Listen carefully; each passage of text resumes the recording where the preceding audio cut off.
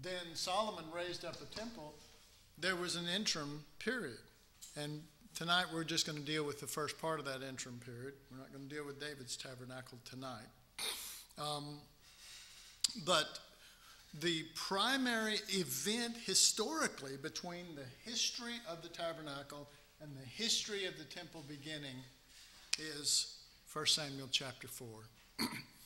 the events in 1 Samuel chapter 4 begin with the Ark of the Covenant representing the life of God being inside that tabernacle. It begins there. It ends, this fourth chapter ends with that ark no longer being in there. All right? And soon, soon, Solomon, uh, you know, well, soon David will raise up David's tabernacle, and then soon after that, Solomon will raise up the temple. So this is the defining moment of transition between one and the other. We're just going to read, there's a lot here, but we're only going to read, at least right now, we're going to read 11 verses. So, beginning with verse 1, and the word, uh, uh, the word of Samuel came to all Israel. Now, Israel went out against the Philistines to battle and encamped beside Ebenezer, and the Philistines encamped in Aphek. And the Philistines put themselves in array against Israel and when they joined battle, Israel was smitten before the Philistines, and they slew of the army in the field about 4,000 men. and when the people were come into the camp, the elders of Israel said, Why hath the Lord smitten us today before the Philistines? Let us fetch the ark of the covenant of the Lord out of Shiloh unto us, that when it cometh uh, among us, it may save us out of the hand of our enemies. All right. This is this is important that you at least know what they just said. Uh, uh, obviously, the most important thing is they are in the process of taking the ark out of the tabernacle. All right? Now, in this story, which is a shadow of the true and does not give clarity to the true story, they're saying, we're going to we're going to take this ark out and we're going to win this battle because the ark of the covenant is among us, okay? so, uh, verse 4 So the people sent to Shiloh that they might bring from there the ark of the covenant of the Lord of hosts, who dwelleth between the cherubim, and the two sons of the two sons of Eli, Hophni and Phinehas, were there with the ark of the covenant. When the ark of the covenant of the Lord came into the camp, all Israel shouted with a great shout, so that the earth rang again. And when the Philistines heard the noise of the shout, they said, What meaneth the noise of this great shout in the camp of the Hebrews? And they understood that the ark of the Lord was come into the camp. And the Philistines were afraid, for they said, God is come into the camp. And they said, Woe unto us, for there hath not been such a thing heretofore. Woe unto us! Who shall deliver us out of the hand of these mighty gods? These are the gods that smote the Egyptians with all the plagues in the wilderness. Uh, verse 9 Be strong and acquit yourself like men, O ye Philistines, that ye be not servants unto the Hebrews as they have been unto you. Acquit yourselves like men and fight. And the Philistines fought Israel. Uh, fought, and Israel was smitten, and they fled every man into his tent, and there was a great slaughter. For there fell of Israel 30,000 footmen. And the ark of God was taken, and the two sons of Eli, Eli here being the high priest, by the way, the two sons of Eli, Hophni and Phinehas, were slain. All right. So, uh, read a little paragraph again. In the Old Testament, we read that the Philistines took the ark of God at the hands of Israel. the Philistines took the ark of God at the hands of Israel. When Israel took the ark out of the tabernacle and the Philistines took it from them, that was only a shadow. The true picture has more clarity to it than the shadow. The situation that took place that day was a picture of Israel handing Jesus over to the Gentiles for death. Okay, now that's the actual event that happened that was the movement toward the transition from tabernacle to temple. Okay? So here in the shadow, we don't get this clear picture. It looks like they're championing the Ark of the Covenant, but when we take it out of the shadow and put it into the true, we know that Israel and the priesthood and all of them took the ark and handed him over to the Romans with the ex- express purpose of putting him to death. Okay? Um, and that picture, that picture is a picture of, remember we talked about the body being like a, a tabernacle, and we used New Testament scriptures that bore that out, that Paul uses that term, you know, that if the tabernacle of this body should be dissolved, we have a, you, you remember that? well, the ark of God represents the life of God, the life force of God, the being of God. And when they took the ark out of the tabernacle, that represented death. That's the, that's the death. Now, the fullness of that death is carried out on the Philistine side, who represent spiritually the times of the Gentiles. And I think I've mentioned that somewhere here or have in the past.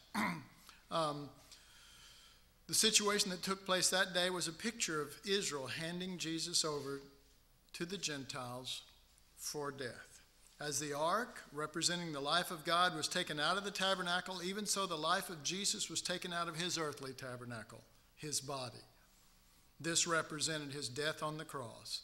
The Jews handed Jesus over to the Romans in order to put him to death. All right. Interestingly enough, this is exact. I mean, it's a perfect picture. I mean, it's exact in so many ways because that act, okay, we're looking at the New Testament here, but if you'll lay over this, the Old Testament historical picture, when they took the ark out of the out of the uh, tabernacle and ended up turning it over to the Philistines, as I said, it was the end of the tabernacle system. And uh, it was not only the end of the tabernacle, I mean, with God, as far as God was concerned, because God left. I mean, he, you know, he, he was gone from that from then on and uh, a whole series of events took place. Incredible events pertaining to the priesthood and pertaining to those sort of things. Eli was back. He's the high priest. He'd been a high priest for 40 years, and 40 is a, is a number of testing. And he'd been the high priest for 40 years, and all of a sudden, the messenger comes back and he goes, You know, what, what has happened here? And he says, Well, bad things have happened you know. And he goes, Well, what? What kind of bad things? And the messenger says, Your two sons, who were also in, you know, in the priesthood, your two sons are dead.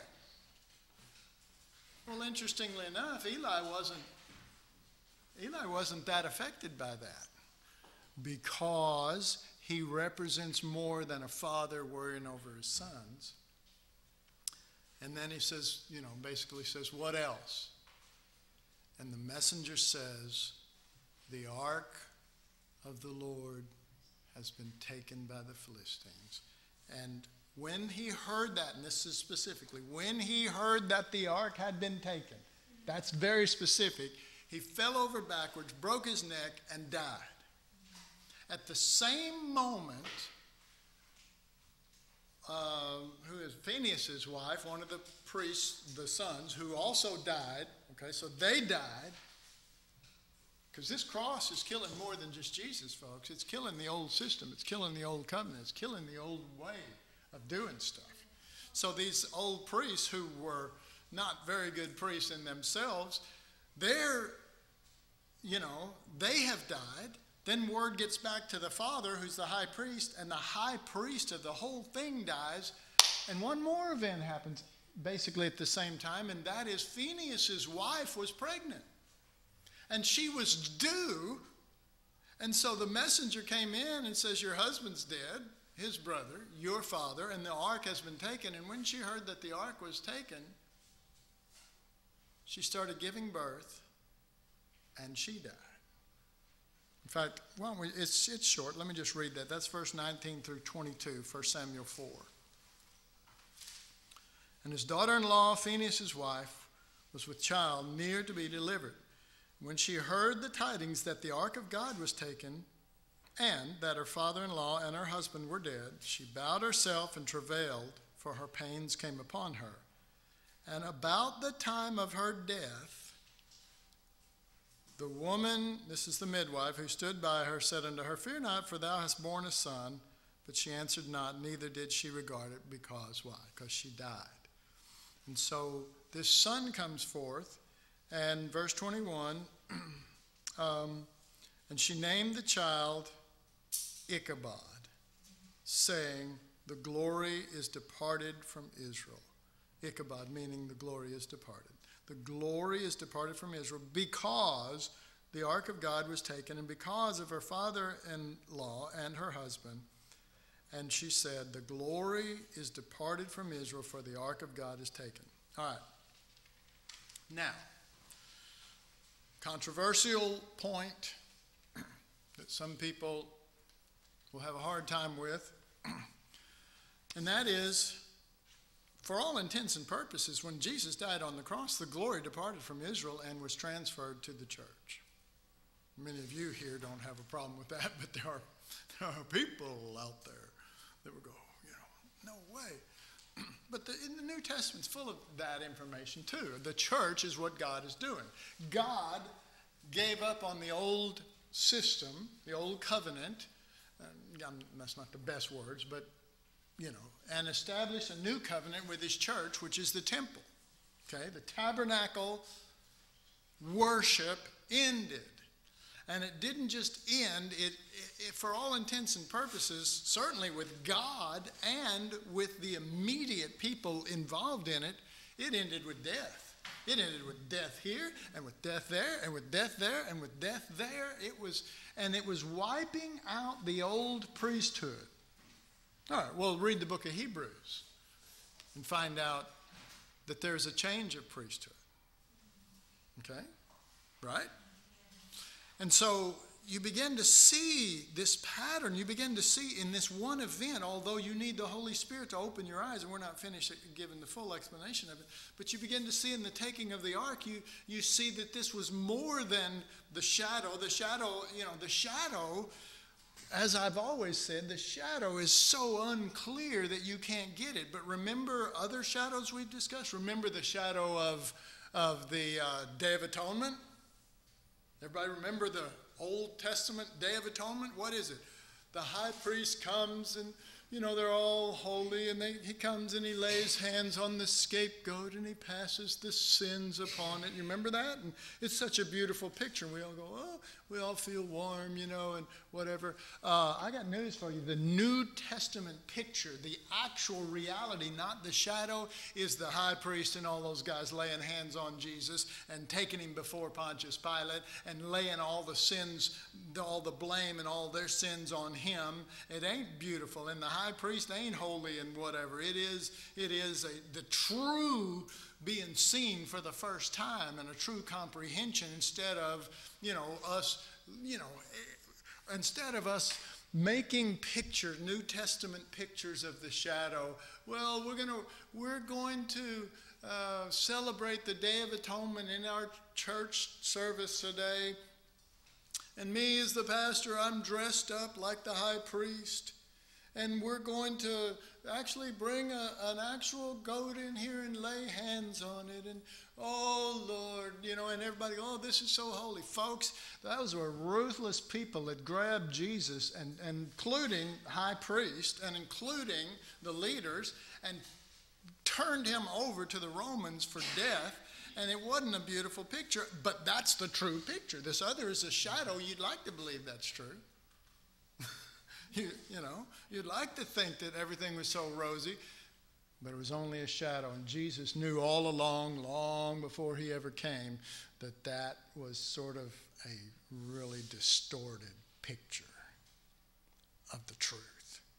That the viciousness which with, with, with which they set out to destroy him is the true picture. And so you get a similar picture here. Here you have the transition between the tabernacle in the Old Testament version. You have the, the transition being Israel taking the ark out of the tent, out of the tabernacle, and rushing out and going, We will, God will save us. But in truth, when you see not the shadow but the true, you see Israel taking the life out of the tabernacle, killing Jesus. When you kill somebody, you take the life out of their tabernacle.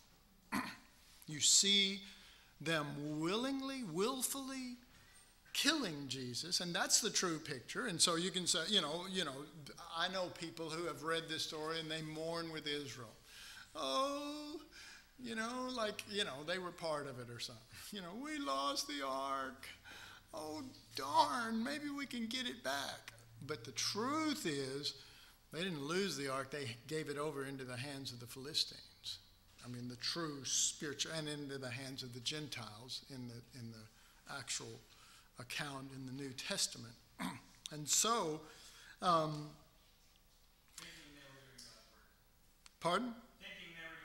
Thinking they're doing. Thinking they're doing yeah and but but here's the thing that gets me over these different shadows is is that we hear we read these stories and then somebody makes those stories holy not knowing that they represent Christ and him crucified and they are not you know that cannot give you a clear picture just as a shadow can't give a clear picture of what's going on. And so we memorialize it and romanticize it until you see it through the eyes of the scapegoat himself. And then you realize this picture is Israel taking the life out of that tabernacle and delivering it over to the Philistines so he'll die. But that's not the only picture going on. Uh, Book of Acts, what is it, chapter 1 or 2, talks about the determinate counsel of God by foreknowledge planning the death of Christ, right? So that Jesus wasn't murdered, he was a, a, willing sacrifice, right?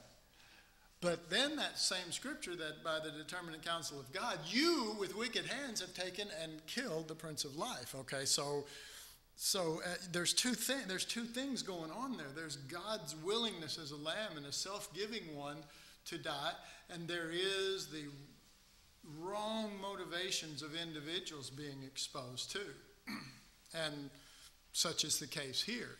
Um, thank God for these shadows because they make, if you will, us appear better. I wonder how many people I, I want, you know, I'm just, I'm just thinking, this is me now, this isn't the Lord. I, I just wonder how many people have read this and they look at their church and they go, the glory is departed, oh Lord, come back, you know. Uh, well, that, I'm sorry, your prayers and your direction, it doesn't fit with this because he left this system and he's not coming back. He'll never, ever be in that tabernacle again. Ever. And the priesthood represented by Eli and Phinehas and Hophni, they will never come back. And, you know, can you, I mean, many of you know the Bible well enough to know Eli and his son Phinehas, his sons Phinehas and Hophni, right? You know, you know the story. So can you see a beautiful picture of them functioning on the Day of Atonement as he's dressed in the, in the pure white and he's laying hands on the scapegoat and going, Oh Lord, we pass these sins. N- knowing that Eli and his sons were every bit as bad as Annas and, and uh, Caiaphas in the New Testament. Every bit as bad, maybe, maybe worse. but we get caught up in the romantic story of the thing instead of say, God, open my eyes that I see Jesus, that I comprehend what's going on here so that I see the truth, not not the truth uh, distorted, shadowed. You, you know what I mean. All right. So, um, let me just read this paragraph again. In the Old Testament, we, we read that the Philistines took the ark of God out uh, at the hands of Israel. When Israel took the ark out of the tabernacle and the Philistines took it from them, that was only a shadow. The true picture was more clarity to it than the shadow. The situation that took place that day was a picture of Israel handing Jesus over to the Gentiles for death. As the ark, representing the life of God, was taken out of the tabernacle, even so, the life of Jesus was taken out of his earthly tabernacle, his body. This represented his death on the cross. The Jews handed Jesus over to the Romans in order to put him to death. All right, so it's it's the end of that system, and it's at the end of that priesthood. um, you know, it, it, it worries me. Uh, it worries me sometimes too, because uh, I wonder. I mean, what if everything that we have been taught on certain subjects is based on the shadow and not on the true? I mean, what if that was? I mean, not everything, but I'm saying, what if what if many things that we have held so religiously, you know, was really just a shadow picture that didn't even communicate the truth of Christ and Him crucified? And that, that, that saddens me and it breaks my heart for me as well as anyone else. And I say that because I constantly pray God, please open my eyes, not so that I'll have something great to share, whatever. I really need to see Jesus because if I don't, as we talked about one of our other sessions, I'm blind. And um, one thing that we left out when I spoke, but but Nisi and I talked about later, is uh, probably probably my most favorite hymn in the whole world is Amazing Grace. I love that hymn. I love the tune. I love the you know. Uh, however, one of the most detrimental lines in it was, I, I once was lost, but now blind, but now I see. Because the truth is, we were blind and now we're seeing.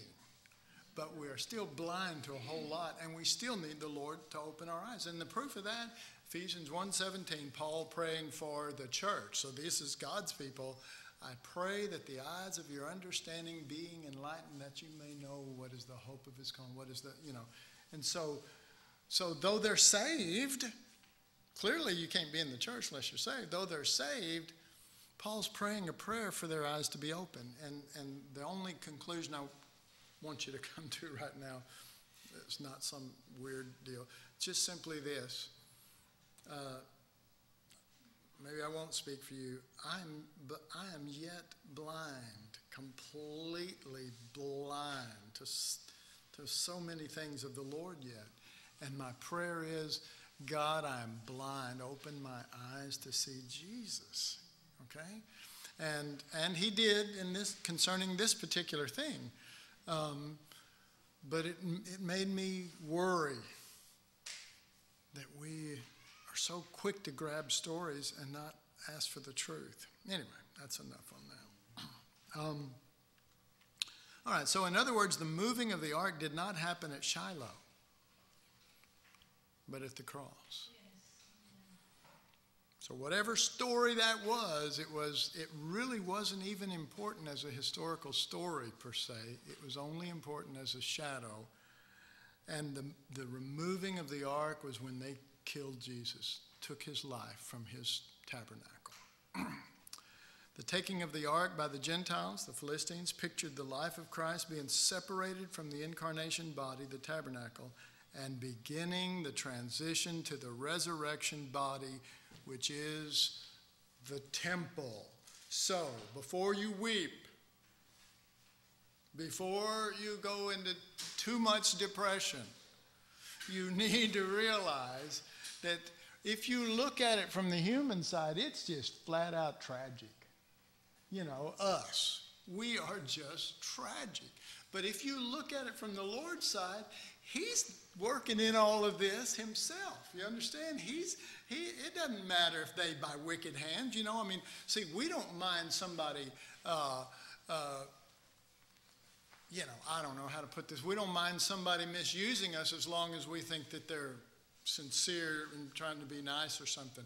But if somebody by wicked hands would nail us to our cross, you know, we only want you know, I, I, picture all these hippies coming and nailing you to the cross and singing and throwing flowers on you while you're being hung up there and you're going, oh, yes, you know, I, I don't think so. That, that's not the way it happens, you know. You don't get to choose your death. You don't get to choose who puts you on that cross. And nine times out of ten, it's going to be somebody that's really malicious, just for your information. Not that I would know that personally, but. All right. So, um, so there is this wonderful reality, this wonderful spiritual reality that is taking place. And that is that God is about to do a new thing that is so glorious, so above Jesus incarnate.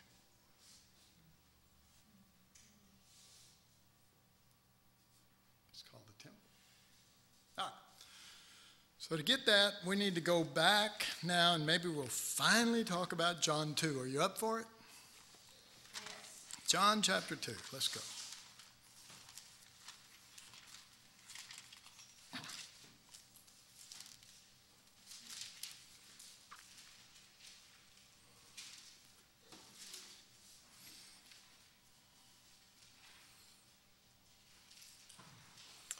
All right, just to make sure that we remember, we're going to just read a little bit. It's not a whole lot here, but John chapter 2, starting with verse 13.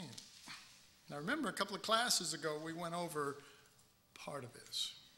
And the Jews' Passover was at hand, and Jesus went up to Jerusalem and found in the temple those that sold oxen and sheep and doves and the changers of money sitting. And when he had made a scourge of small cords, he drove them all out of the temple, and the sheep and the oxen, and poured out the changers' money uh, and overthrew the tables, and said unto them that sold doves, Take these things from here, make not my father's house an house of merchandise. And his disciples remembered that it was written, The zeal of thine house hath eaten me up.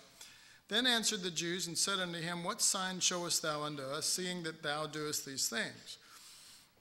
Jesus answered and said unto them, Destroy this temple, in three days I will raise it up. Then said the Jews, Forty and six years was this temple in building, and wilt thou raise it up in three days? But he spoke of the temple of his body.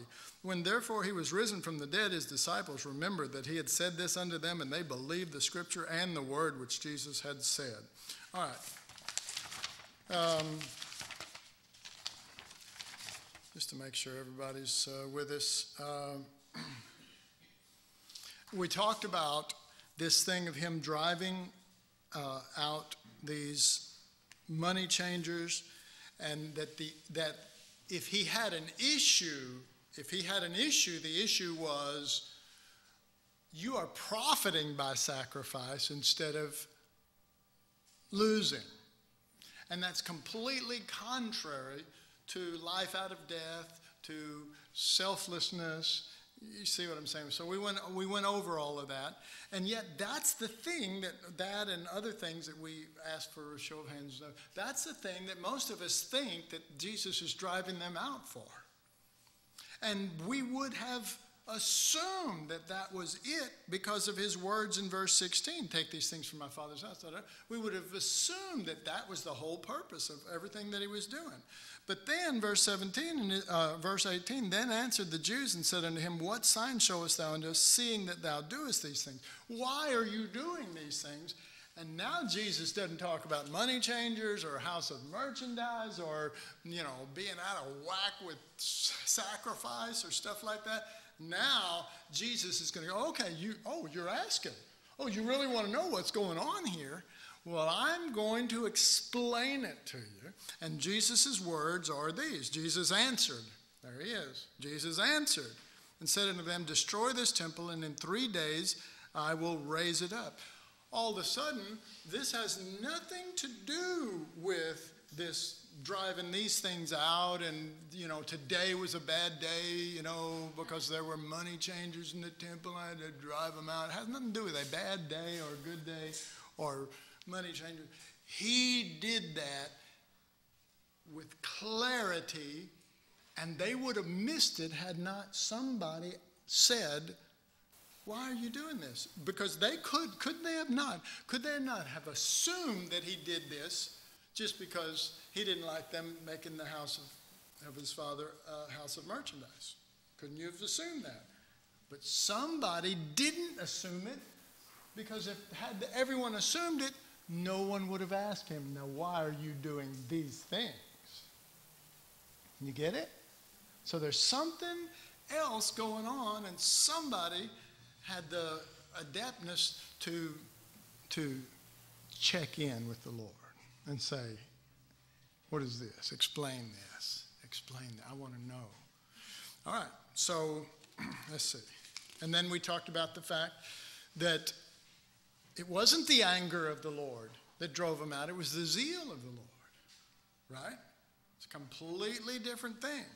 And um, let's see, I just want to make sure I'm covering everything. Uh, I wrote, and we read this last time, because his action was not based upon men's failures, his own anger, or righting a wrong situation. Um, and then, let's see. All right, so we're back to where I wanted to be. What has transpired in the taking of the ark is exactly what's talking about here. It's exactly the same picture. Um, this is what Jesus is referring to in John 2. If we return to John 2, we begin to see the same pattern as the taking of the ark by the Philistines. In driving that which is to be offered out of the temple, we see how Jesus lines the shadow up with the true. By driving out the offerings from the temple, he is representing the concept of death to sacrifice. Let me explain the sacrifices represented himself as the only acceptable sacrifice. When those, and, and you know, Jesus really didn't rail on. He didn't go, that, that's, that, see that dove, that's stupid. I'm the, you know, or see that lamb, that's, that's really stupid. I'm the true lamb. He didn't rail on them. He railed on them making, you know, merchandise when it was supposed to be sacrifice. So it wasn't a situation of, of uh, uh, disagreeing with the sacrifice, because to him, to him, he knew it was a shadow, but he knew that every sacrifice Israel ever offered for thousands of years represented him, the only true sacrifice. Okay? Um, the sacrifices represented himself as the only acceptable sacrifice. When those varied sacrifices were driven from the temple, Jesus was giving us a picture of the religious leaders taking his life from him by removing it from the temple of his body. Do you see the same picture as with the tabernacle over here? And they took the ark of it that represented that's death. The life came out of the body, and he died, and that's where the cross is represented here in this transition between these two. Well, this is exactly the same picture because he said, they said, What does all this mean? What are you doing? Destroy this temple, and I'll raise it up in three days. All right. Just one, you know, uh, there's several things, and I'll read a little more. But isn't it interesting that the disciples later on, it says, um, um, and his disciples, well, it says, and his disciples remembered that it was written. The, here's how we would word this. And his disciples remembered that it was written. Zeal drove him to it because he was zealous. No, sir, no, sir. He did that because of zeal for God's house that was coming for the temple. He did that because it says he did it. He says, and they said, We get it. This is about your house. And this is about, and this driving out, this death is not murder, it is zeal as you go into death to build a temple, not just have a tabernacle for God. Does that make sense to anybody? That's the, that is clearly the wording. That is clearly the flow when Jesus begins to answer this. All right, so let me make sure I've got these bases covered. Um, I'll read this one sentence one more time. When those varied sacrifices were driven from the temple, notice the wording driven from the temple, folks, that sounds like death to me. Driven, the life, the sacrifice, the, the, the self giving one represented in this picture, and Jesus giving a, a picture of it, driven from the temple Jesus was giving us a picture of the religious leaders taking his life from him by removing it from the temple of his body. The driving out represents three things the death of the sacrifice, because Jesus was a sacrifice and he did die, right? So, uh, apart from everything else, by driving this sacrifice or driving the life, just like the, taking the ark out of the, the tabernacle uh, on the uh, in the Old Testament, when, the light, when those sacrifices left that temple, it represented death. But to God, you know, there's two ways of looking at it. it. To God, it represented sacrifice. To those who wanted to kill him, it just represented death. We killed him. We killed Jesus. Right? See, it's all in how you look at it. When you look at it from God's side, it's a glorious thing. When you look at it from man's side, there's always maliciousness in it. Yes?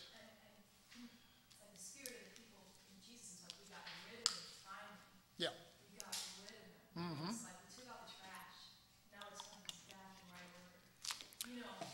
Well, I thought it was interesting that Jesus is, uh, get this, now we know that they killed him, right? But we also know he gave his life. Jesus is the one driving out the sacrifices, representing his own willingness for zeal to bring forth something that was not in existence yet the temple. Yes. You see that? Yes. That the disciples were quoting Psalm 69. Yep. And the whole psalm is full of David going into death. It's beautiful. It's beautiful. The spirit of the zeal in that song is all death. It's all going to death. Well, but the but the zeal here, I mean, yes, and that's right. But the zeal here is specifically for the house of God. He is driving those things out gloriously, representing, I will go into death for my Father because destroy this temple, and in three days we'll raise up the, the true temple of God. Isn't that great? Hallelujah. All right, so rep, this driving out, driving out represents three things the death of the sacrifice, which is self, a, a willing sacrifice, willingness. The crucifying of Christ and taking his life from his physical body, the temple, which is the Jews, the Gentiles killing him. And then finally, destroying one temple, the tabernacle, to raise up a greater one called the temple, which is the body of Christ. This building housed just Jesus. This building houses many, many, many, many that become one. And they become one by the same life that housed this tabernacle, but now he fills every stone, every brick, every part, every one. All right. Also, remember that these very events are happening on the day of Passover. Remember verse uh, 13? And the Jews' Passover was at hand, and Jesus went up to Jerusalem.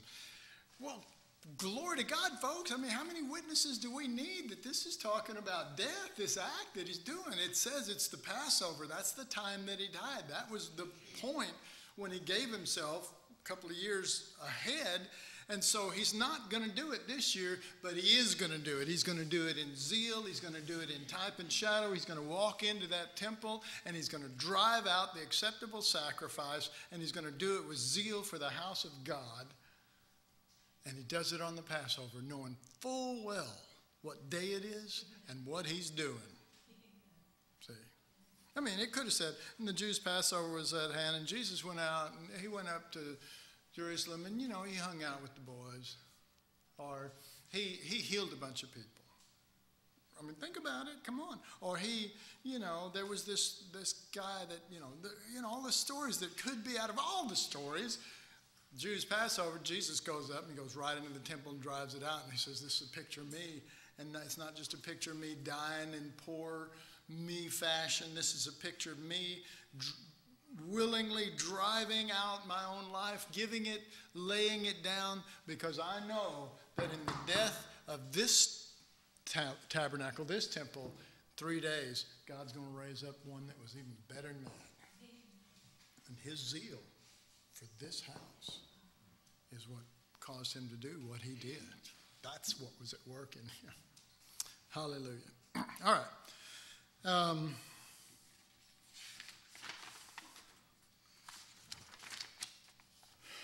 All right, so him going up on the Passover, I wrote, This is no coincidence. Jesus knowingly took this action on this particular day as a sign to those who might see. then, uh, verse uh, 22, let's read that. when therefore he was risen from the dead, his disciples remembered that he had said this unto them, and they believed the scripture and the word which was spoken. Um, we see clearly from verse 22 that even the disciples did not get what Jesus was talking about until later. They didn't get it, right? They didn't get it. Okay? Um, we can find this to be true in other places also. So let's let's uh, keep your place here because we're not finished in John 2, but let's go to Mark 13. I want to show you another example of this. Different story though. Mark Mark 13. And we're just going to look at verse 1 and 2.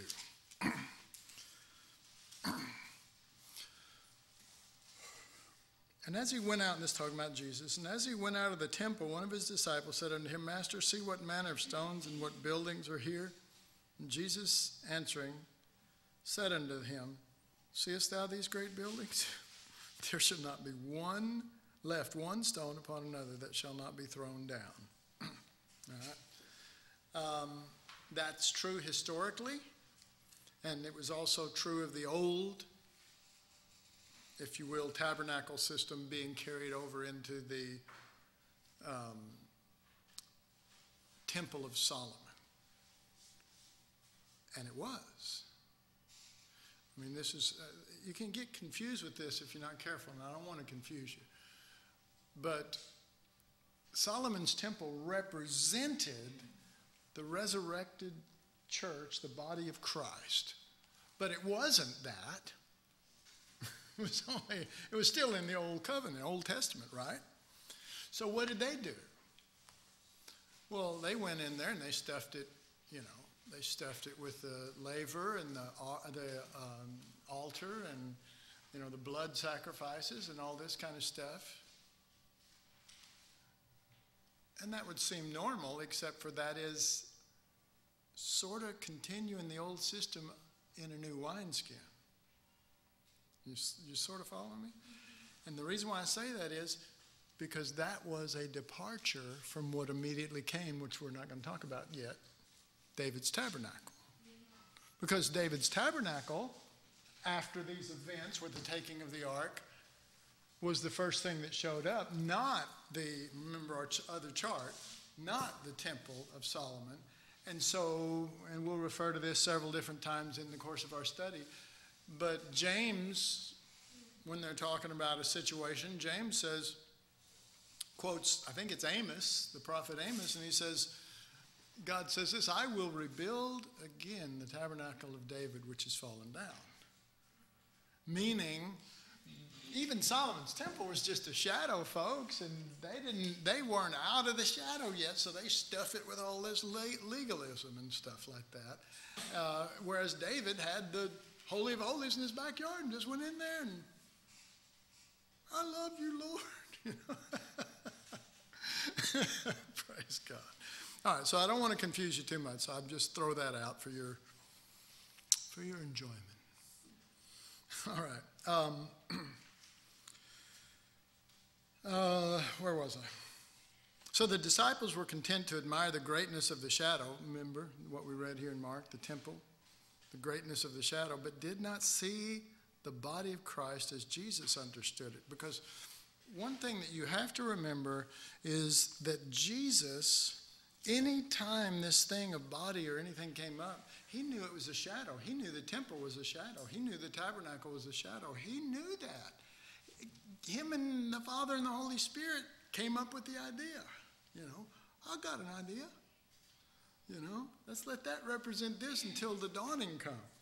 You know, so you know, any action. You know, the disciples sitting there and going, "Oh, look at the beauty of this this temple." Jesus is going, "Oh, please." You know, there's nothing beautiful about it if it's just if it doesn't represent the habitation of God. They didn't say, look at how God dwells in here, the house of God. They said, look how beautiful the temple is. Okay, the emphasis on us instead of him. All right. Um, they saw it in its outward grandeur, but not as a practical house for God. For Jesus, the point's not about the beauty of the structure, but the purpose for it. Is it fulfilling God's intended purpose? A habitation of God. See? So, you know, we'll get into this, I think, uh, when we get into David's tabernacle a little bit, but, you know, so many of us, frankly, are worried about ourselves. We're worried about trying to beautify the temple instead of the Lord being the beauty of the temple.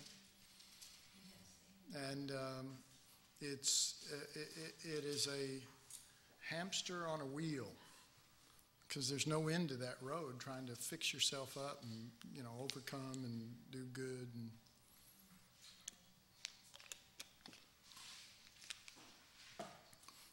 not only that, but it's so completely contrary to the plan of God that you can't get there from here.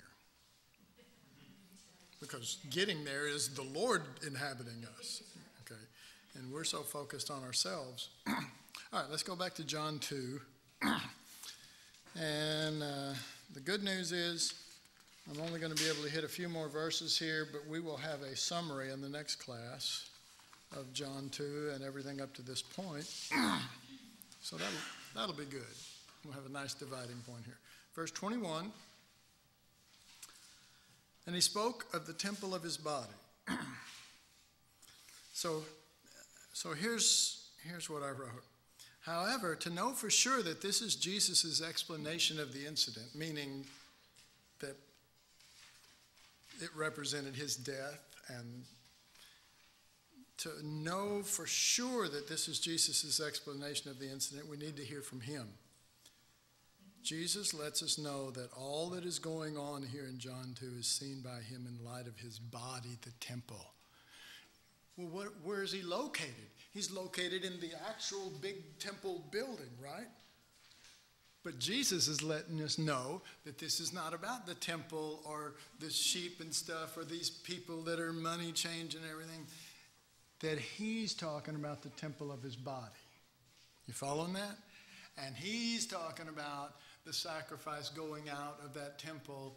He's talking about him laying down his life for zeal for something greater than even the Son of God incarnate, something greater and more important to the church, Amen. ultimately, Christ in you, Christ in us, us being a habitation of God, which is way down the road here towards Solomon's. But anyway, um, so uh, Jesus walked as the tabernacle of God or the tabernacle of, of the Father. He sees things in clear light, and we see things in shadows. There's your problem right there.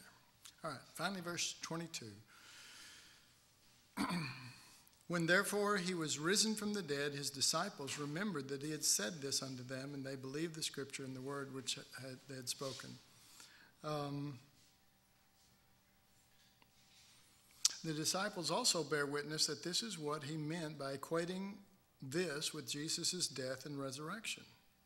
When, they, when therefore he was risen from the dead, his disciples, all of a sudden, oh my God, what he was talking about there is this.